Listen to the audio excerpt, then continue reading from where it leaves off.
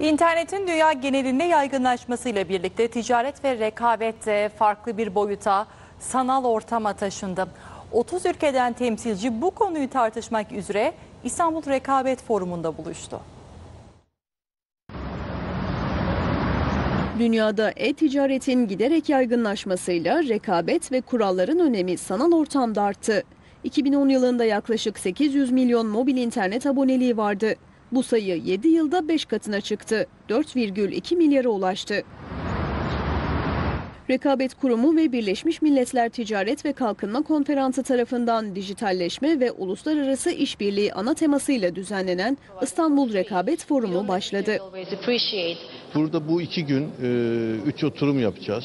Bu oturumların ana teması dijitalleşme ve rekabet hukuku ve e, politikaları konusunda işbirliği.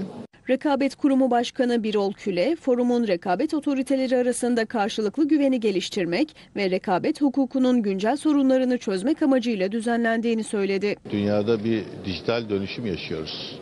Sanayi devriminden bu yana görülmemiş bir dönüşüm. E, bütün piyasaları ve sektörleri etkiliyor. Bu dijital dönüşümle birlikte e, rekabet otoritelerinin e, vermiş olduğu kararlar birbirlerini çok etkiliyor. Dolayısıyla e, rekabet otoritelerinin işbirliği bir e, zorunluluk haline geldi.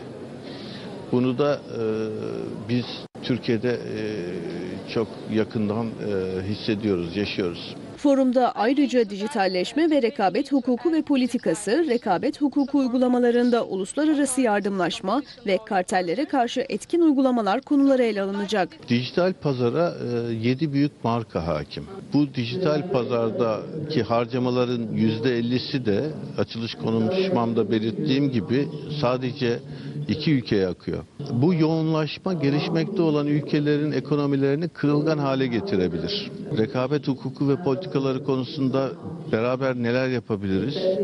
Bu işbirliğini nasıl geliştirebiliriz? Onları konuşacağız. İstanbul Rekabet Forumu 26 Kasım'da sona erecek.